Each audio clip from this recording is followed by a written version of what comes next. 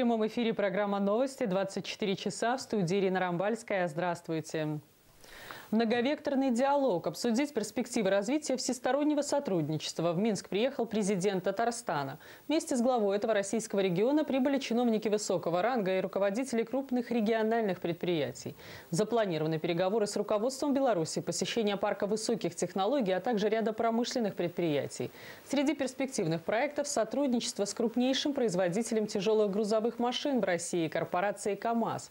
Ее представители в составе нынешней делегации. Беларусь Беларусь предлагает автогиганту широкий спектр современных автокомпонентов, ничем не уступающих зарубежным аналогам. Добавлю, Татарстан среди всех российских регионов занимает шестую позицию по уровню товарооборота с нашей страной. До начала официальных встреч зарубежные гости почтили павших в годы Великой Отечественной войны. Ранним утром к подножию монумента на площади Победы в Минске представители делегации возложили венок и живые цветы.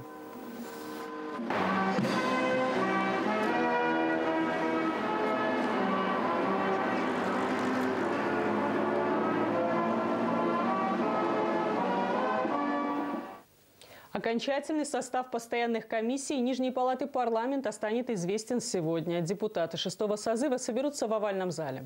Народным избранникам также предстоит избрать заместителей председателей всех 14 комиссий. Несколькими днями ранее парламентарии определились с коллегами, которые возглавят работу комиссии на ближайшие четыре года.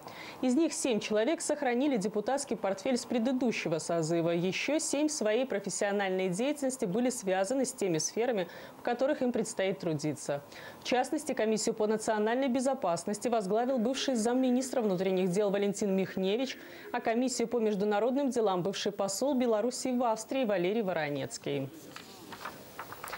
И к событиям в мире. В иракском Масуле армия правительства проводит операцию по освобождению от боевиков исламского государства. В штурме участвуют и бойцы курдских формирований. Уже освобождены 9 деревень к востоку от города. А вот правительственные войска терпят потери. Смертник атаковал армейскую колонну. Там погибли около 70 военных. Удары по захваченному террористами городу продолжают наносить французские и американские ВВС. Местные СМИ пишут, что многие боевики бегут в сторону границы с Сирией. А те, кто остался в городе, используют местных жителей в качестве живого щита. Отмечу, он и Красный Крест развернули лагеря для беженцев. Туда прибыли уже 30 тысяч человек.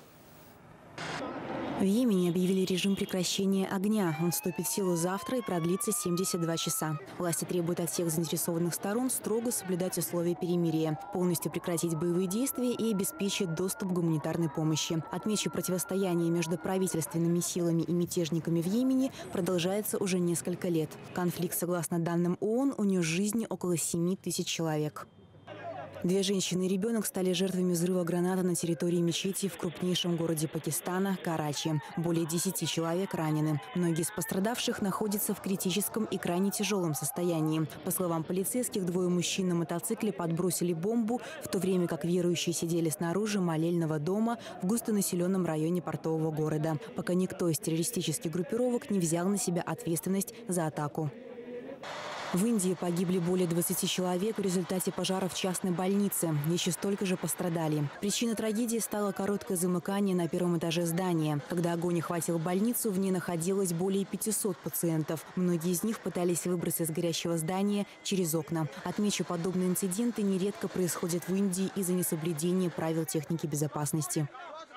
Тайфун Сарика достиг южного побережья Китая. По оценкам синоптиков, стихия станет самой мощной и разрушительной на острове Хайнань за последние десятилетия. Специалисты ожидают, что после приземления шторм наберет мощность супертайфуна. Местные власти уже отменили несколько сотен авиарейсов, остановили движение пароходов и сообщений высокоскоростных поездов. Также отменили занятия во всех школах, детских садах и закрыли для посещений все туристические объекты. Сейчас местные жители эвакуируются в убежище.